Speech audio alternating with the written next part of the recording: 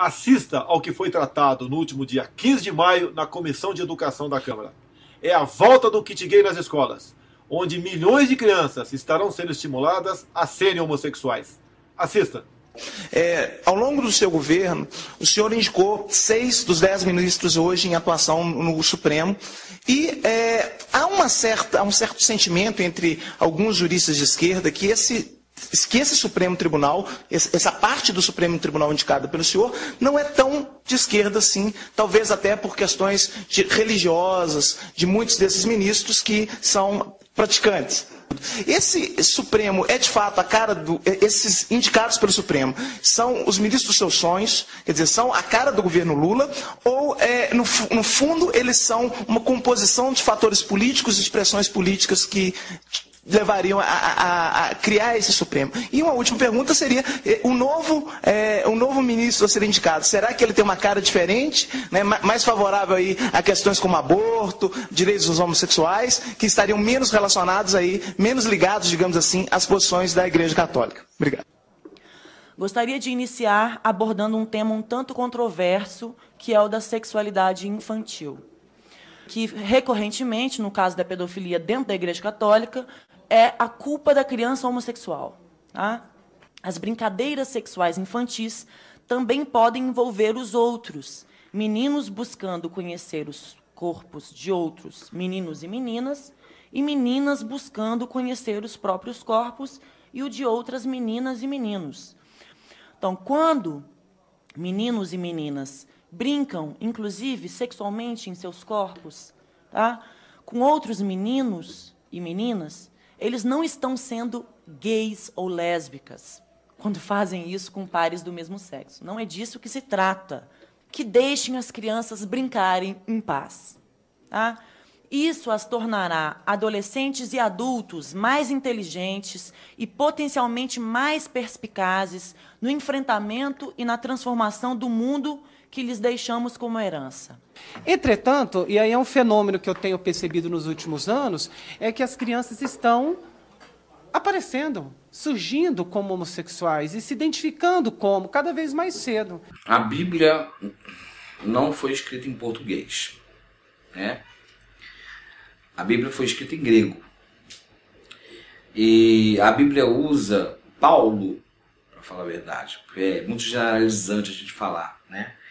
Em 1 Coríntios 6,9, Paulo diz que é, o sodomita, ele é traduzido assim, em português. Os sodomitas e os efeminados não entrarão no reino dos céus. E asenoikoitai é uma palavra controversa, porque é quase que um analogismo. É, ele pode ser traduzido como homem de cama, como prostituto ou como estuprador que ela diz que a, pro, a professora dela foi a prostituta. E a escola dela foi a escola da Minhas vida. Minhas melhores professoras foram justamente as prostitutas. Pra onde eu fui expulsa foi o meio que me acolheu. Então não tem nem o que se discutir, entendeu? Um kit ou qualquer coisa, até dele ser chamado um kit gay, que no Estado brasileiro que vê essa necessidade de ser colocado isso dentro das escolas. E ele tem que colocar, não tem que ficar entrando nessas todas discussões. Do projeto Escola se homofobia, que, repito, falo aqui nem, nem como deputada, falo também como professora que sou, um projeto cuidadosamente elaborado, né, dentro, inclusive, dos padrões científicos. No, no, um dos materiais didáticos, um dos filmes, tinha um beijo na boca. E a gente ficou um beijo lésbico na boca. A gente ficou três meses discutindo até onde, até onde entrava a língua, né? Então era. E nós temos que lutar para que esse, esse projeto chegue no chão da escola, porque é, é é lá que ele tem que, que chegar mesmo. Com um monitor ensinando como colocar a camisinha no pênis. E aí ele explicava para você abrir a camisinha, apertar a camisinha na ponta, desenrolar até a base do pênis antes de introduzir o pênis na vagina. E desenrolar até a base do pênis antes de introduzir o pênis na vagina. E o pênis na vagina. E o pênis na... Depois do décimo pênis na vagina, eu virei para ele e perguntei, mas, meu querido, quem disse que eu vou introduzir o pênis na vagina? E ele levou uns 10 minutos para entender o que eu estava dizendo. Trabalhar gênero e sexualidade não tem idade mínima. Na verdade, a gente está falando de questões que têm a ver com todas as faixas etárias. É, É. No ensino fundamental, a gente pode trabalhar de diferentes maneiras. Bancada no Congresso Nacional, uma bancada é, evangélica também, uma bancada católica, uma, vamos dizer, uma bancada cristã, que muitas vezes faz uma pressão muito grande para aprovação de, determinados, de determinadas leis, que são leis é, que, no fundo, representam valores morais não da totalidade da população, mas representam valores morais dos religiosos. Né? Para o material, a hora que fosse na escola, ele não ficar enfiado lá em alguma gaveta. Então, para colocar o cartaz na escola, para as professoras e os estudantes poderem reivindicar. E outra, esse material foi feito com recursos, foi feito com recursos públicos. Agradecer a Comissão de Direitos Humanos, aí nos nossos queridos deputados que inclusive aprovamos uma emenda de 11 milhões eh, na semana passada. Obrigado ao Chico Alencar, que tem sido o nosso grande articulador. Recursos da nossa população, que veio do dinheiro público. Cada vez que alguém vai ao fundamento dessa cultura, que é a Bíblia, e toma a Bíblia ao pé da letra, a gente pode chamá-la de fundamentalista sem medo de ser feliz. O caso do Rio de Janeiro, por exemplo, em que um vereador propôs uma aberração constitucional é, uma lei inconstitucional, uma aberração mesmo, que propõe que o município é, proíba a distribuição na rede pública de ensino municipal de qualquer material que venha é, enf enfrentar a homofobia ou trabalhar o tema. Vemos pastores que é, sempre quando falam de pedofilia querem ligar a pedofilia à homossexualidade, quando que as, as pesquisas nos mostram que mais de 70% dos pedófilos são pais, são tios, são avós, são primos.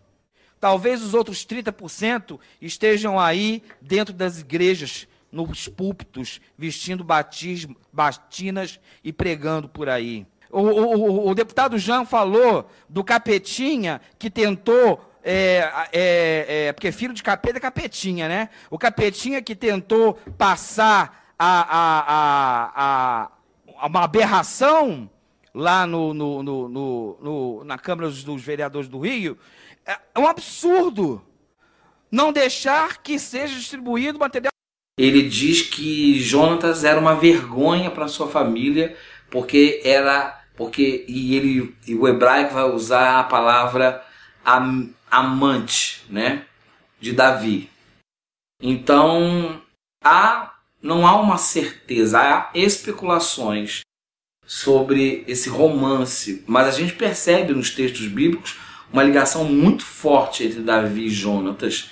E a palavra que Saul fala para Jonatas, palavras ofensivas, são palavras que dão a entender que Jonatas amava Davi como um homem ama uma mulher. Menino de 12 anos, porque é pego com uma revista gay, é expulso das escolas públicas. Porque o que a gente mais vê nas escolas públicas são imagens de santos, crucifixos, enquanto que o Estado é laico. Eu acho que está na hora da gente tirar as imagens de Maria, de santo isso, de santo daquilo, e de crucifixos da, dos espaços públicos, poder de projetos fundamentalistas religiosos, esses desgraçados, eles têm um poder político de projeto que só está se consolidando. Mas eu sei que eu estou disposto a pegar em armas se preciso for. Se se instalar uma teocracia no Brasil. Não podemos assistir passivamente este movimento que busca acabar com a família e as religiões. Mesmo respondendo a dezenas de processos, continuarei fazendo a minha parte. Quanto a você, não se omita. Amanhã poderá ser tarde.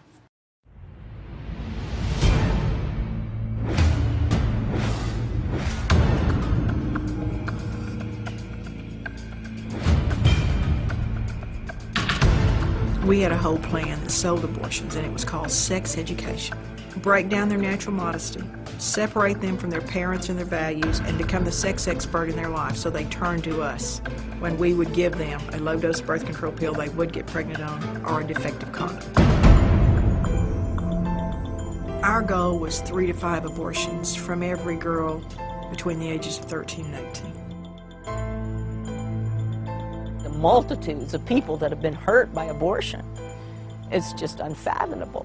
that abortion is really, to me, the ultimate exploitation of women. It is so shameful and secretive that many women don't tell anybody that they've had an abortion. They won't say anything for 20, 30, 40, 55 years. They're so traumatized. Silence.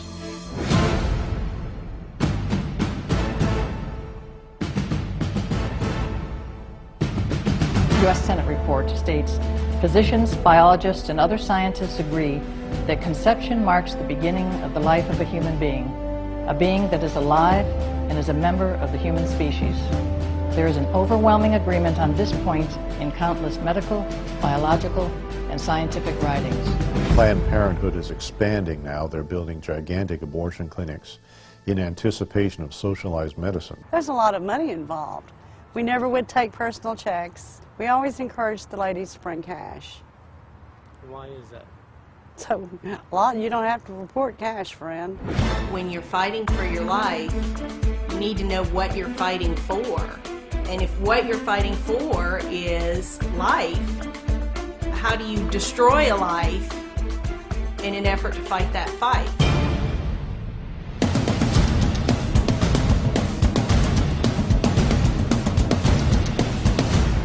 Fighting so hard to save myself that I'll kill someone else to get that. I recognized I'd been involved in the death of 35,000 babies.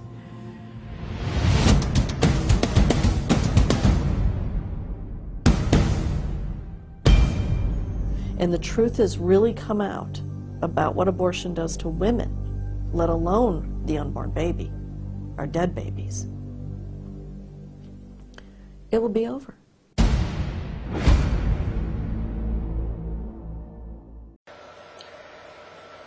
É, finalmente, ainda tem gente insistindo na, na, questão de se homossexualismo é antinatural. Eu, escuta, quantas vezes preciso explicar? Essa semana, até o meu queridíssimo padre Lode, pessoa que eu amo de paixão, né? é, pessoa pela qual, sinceramente, eu daria minha vida pelo padre Lode, porque esse é um herói. Ele insiste, não, é antinatural sim. E para provar isso, ele cita o quê? Santo Tomás de Aquino. Ó, oh, padre Lode, o conceito atual das ciências experimentais só começa a surgir a partir do século XVII. É? Portanto, quatro séculos depois da morte de Santo Tomás de Aquino. Então, Santo Tomás de Aquino está falando da natureza dentro de um conceito metafísico, não necessariamente no contexto que ele cita, não necessariamente religioso, mas metafísico, no qual a natureza visível é vista como uma expressão, como uma manifestação, uma, uma manifestação, por assim, cristalização física simbólica da, da, das leis divinas. Então, esta é uma concepção. Dentro desta concepção, é inteiramente legítimo dizer que o homossexualismo, como outros pecados, é antinatural. Porém, no conceito moderno da natureza, onde a natureza é vista como uma totalidade independente, a ser estudada exclusivamente por meios científicos e experimentais, sem referência às leis eternas, às leis divinas, etc., etc., então não tem cabimento dizer que esta ou aquela conduta é antinatural pelo simples motivo de que na moderna ciência da natureza não há o conceito de antinatural. Qualquer fenômeno observado na natureza, no conceito moderno, faz parte da natureza e é, portanto, natural. Acontece que quando você diz, hoje em dia, que tal qual conduta é antinatural, soa como se você estivesse se respaldando na ciência moderna. E daí você acaba dizendo uma falsidade. Ainda que a sua intenção seja a de transmitir o conceito de natureza de Santo Tomás de Aquino. O conceito de natureza de Santo Tomás de Aquino não é o conceito vigente, o conceito usado na prática acadêmica das ciências naturais atuais. Então é preciso ressaltar, quando você diz que a conduta é antinatural, ela é antinatural de um ponto de vista moral, fundado em considerações ou religiosas, bíblicas, ou filosófico-metafísicas, não científico-naturais. Né? Ninguém pode me mostrar um só trabalho científico com uma prova experimental de que o homossexualismo, ou se quiser, o sadomasoquismo, ou qualquer outra conduta sexual, seja antinatural. Não há essa prova. Isso é impossível na ciência natural. Então, quando vocês dizem isso, note bem, quem se opõe ao seu discurso religioso é o pessoal ou do movimento que existe, os seus simpatizantes. A maioria são todos ateus. Então eles tomam como referência a ciência natural. Quando você diz que a conduta deles é antinatural, eles entendem que você está falando isso no sentido da ciência experimental atual. E daí eles dizem, isso é mentira, isso é preconceito. Então é uma questão de explicar as coisas direitinho. Tá certo? Não digo que ninguém esteja mentindo de propósito, mas é que às vezes, vamos dizer, no, no calor da eloquência, o sujeito, olha aqui, Santo Tomás Aquino diz que é antinatural. Sim, ele diz que é antinatural, mas dentro de um conceito que não é o da ciência experimental moderna. Portanto, um conceito filosófico.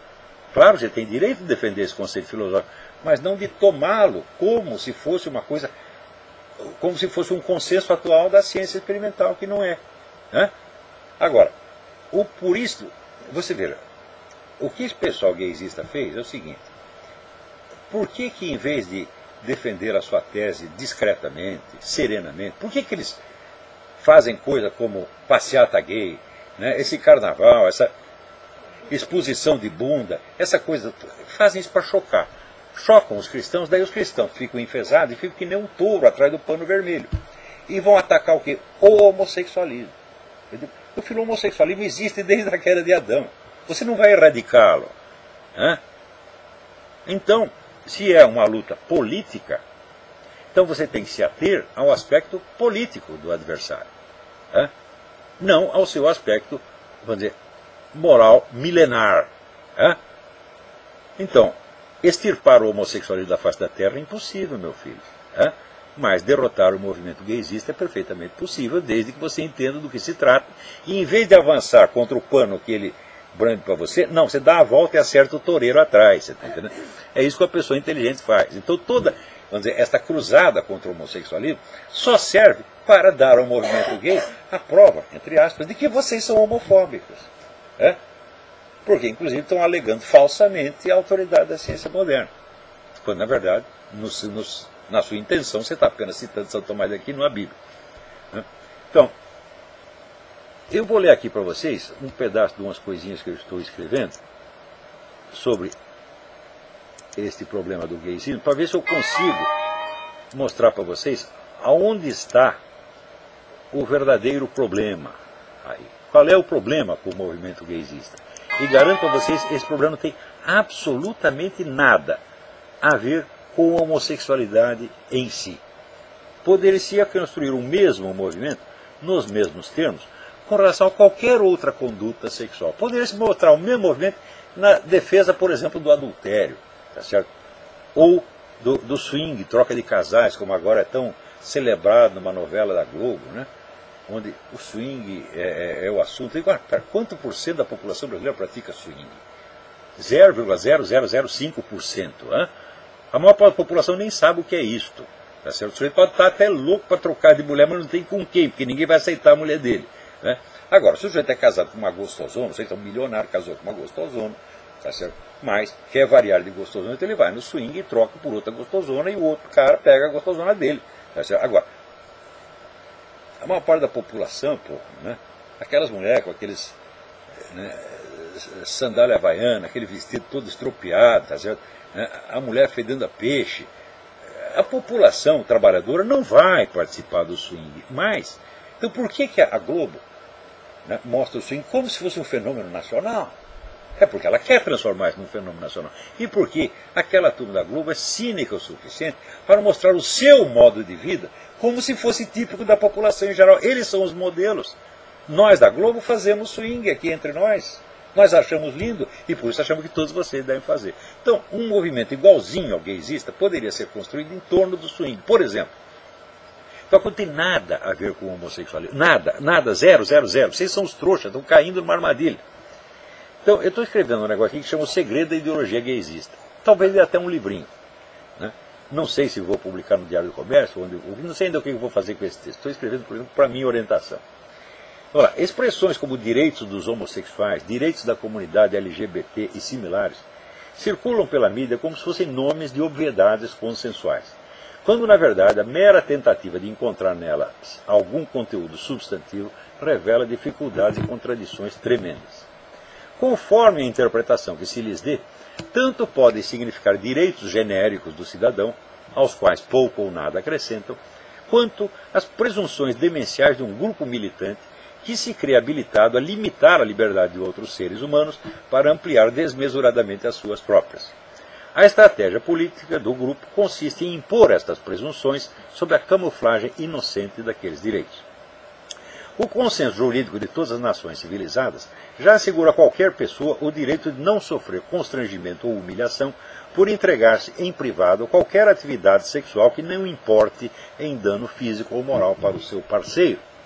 Isso inclui tudo o que heterossexuais, homossexuais, bissexuais, travestis, transexuais, masturbadores solitários ou indivíduos com qualquer outra preferência sexual existente ou por existir possam fazer na cama, ou no sofá, ou deitados no tapete, ou de pé no banheiro, ou sei lá onde mais.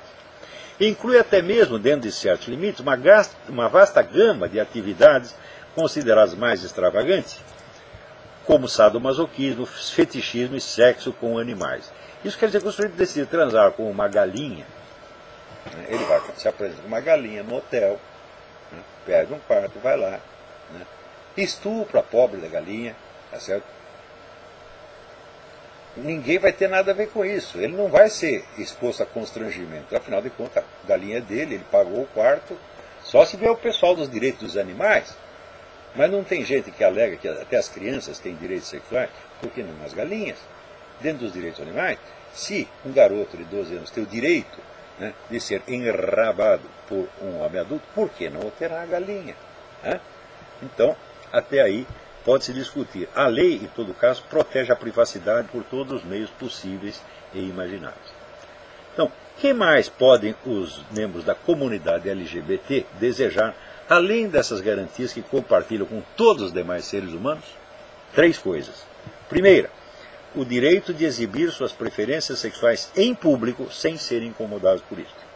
Segundo, a equiparação jurídica dos casais homossexuais às famílias legalmente constituídas. Terceiro, o direito e os meios de punir com penalidades legais quem quer que diga uma palavra contra suas preferências e hábitos sexuais. Então, o que que essas três reivindicações fundamentais do movimento gay têm a ver com o homossexualismo em si? Nada. Pode-se fazer as mesmas reivindicações iguaizinhas para quaisquer outras práticas sexuais. É?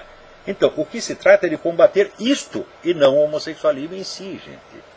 Vê se vocês entendem. Pô um pouco a cabeça. Né?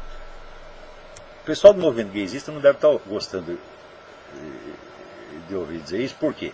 Porque eles estão acostumados a fazer da briga uma briga dos homossexuais contra os ataques homofóbicos. Né? Falar, aqui não tem. Estou falando de homossexualismo, é um problema de legislação, um problema de política. Completamente diferente. Daí ele vai dizer: opa, ele nos pegou, ele nos decifrou. Né? Então vamos lá. Quando qualquer dessas três exigências é contrariada, eles gritam que seus direitos foram violados, como se esses direitos já estivessem consagrados em leis e como se fossem, aliás, princípios universalmente aceitos que só um demente homofóbico ousaria contrariar.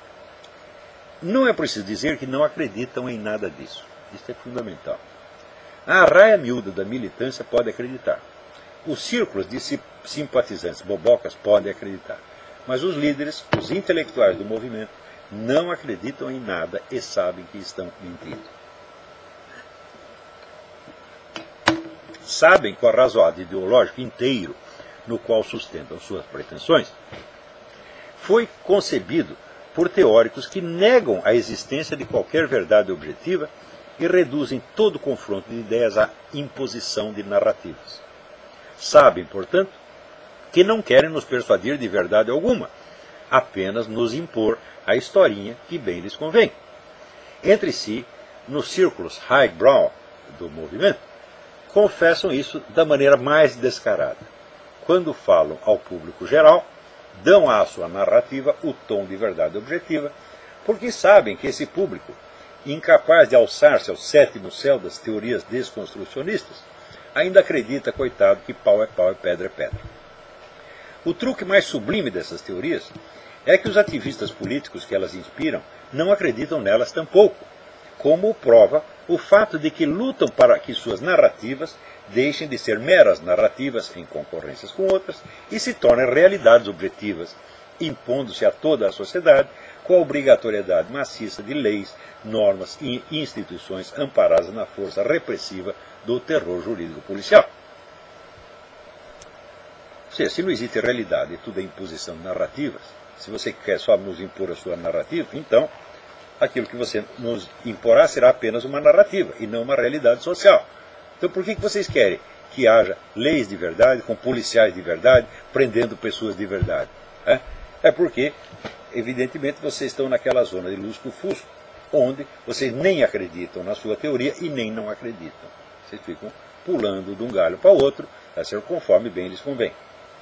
Mas deixemos isso de lado por enquanto. Examinemos as três exigências em si mesmas, não na sua mera formulação verbal, sufocantemente adjetiva e autolaudatória, mas na substância das mudanças sociais que exigem. A primeira, que é o direito de se exibir em público, vai muito além do direito de praticar a homossexualidade ou qualquer de suas variantes em privado. Exige o direito de ostentar em público, sem o risco de constrangimentos, mesmo, mesmo verbais, algo que se convencionou chamar de identidade homossexual ou identidade gay.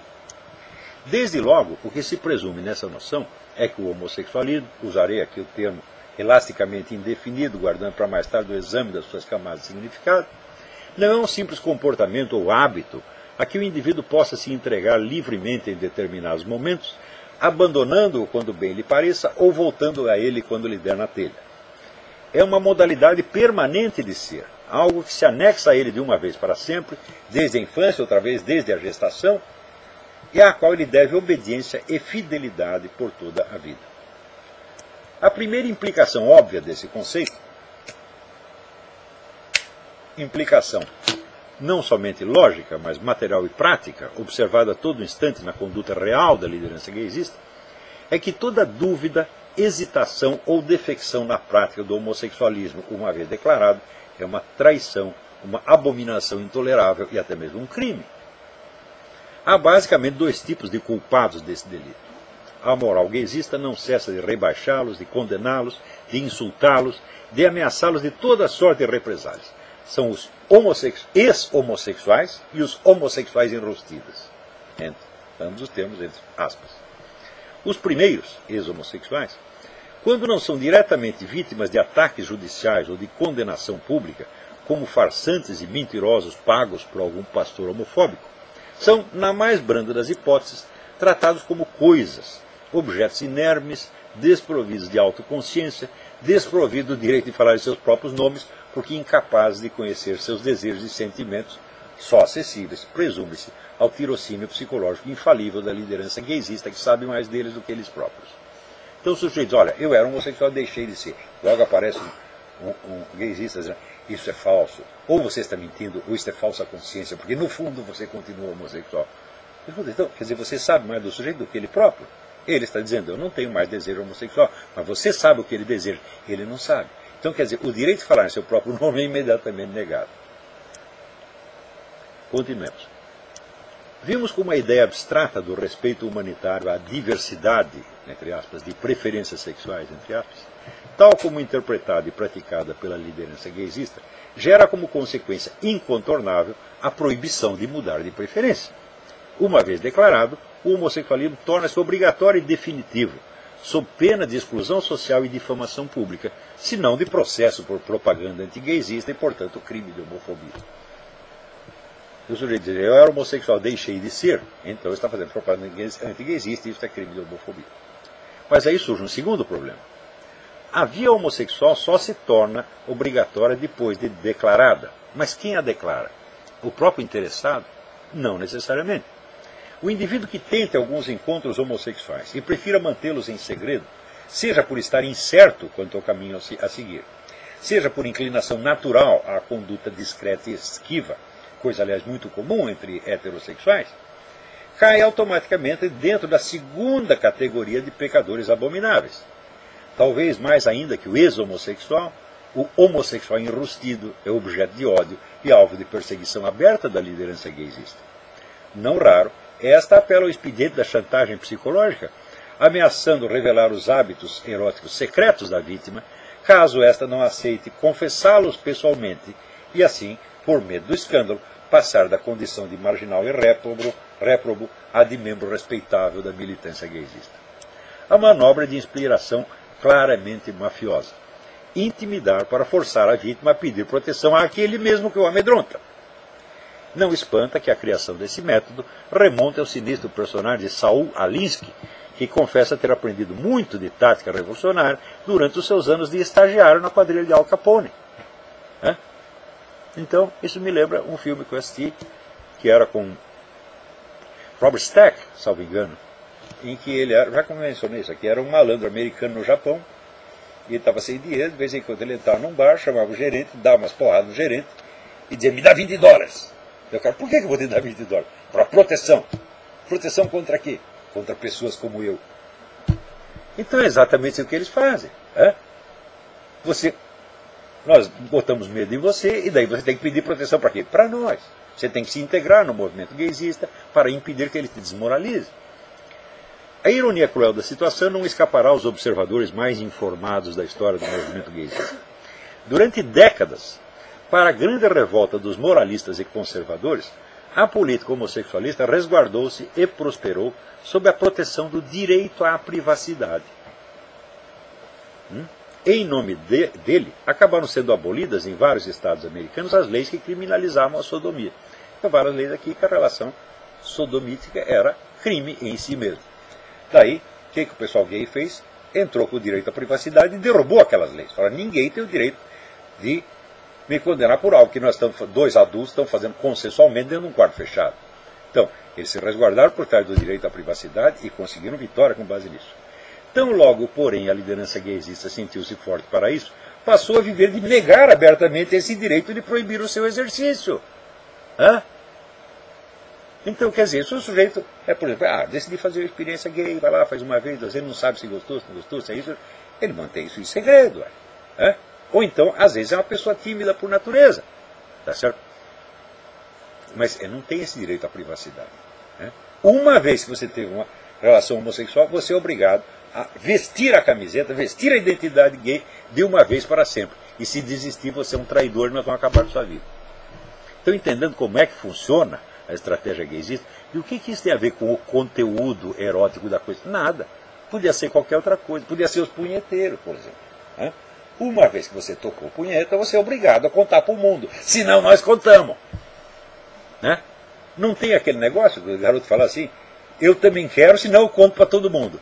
Mas é esta a estratégia. Isso é de uma crueldade psicológica, de uma desonestidade visceral, mas não tem nada a ver com o homossexualismo em si. Qualquer ato sexual pode ser objeto desse tipo de artimanhas. Então, Conforme já expliquei em outros artigos, a inversão radical do discurso conforme as conveniências táticas do momento é um traço infalível da mentalidade revolucionária. Então, quando lhe interessa, ah, viva o direito à privacidade. Agora então, não tem mais direito à privacidade. Privacidade é, é, é, é desculpa homofóbica. Então, são essas estratégias psicológicas que constituem o cerne do movimento gaysista. Hum? E a coisa não tem absolutamente nada a ver com o homossexualismo em si. Então, vocês avançando contra o homossexualismo, vocês não atingem o toureiro que está atrás do pano. Ele passa o pano e dá a risada da sua cara, porra.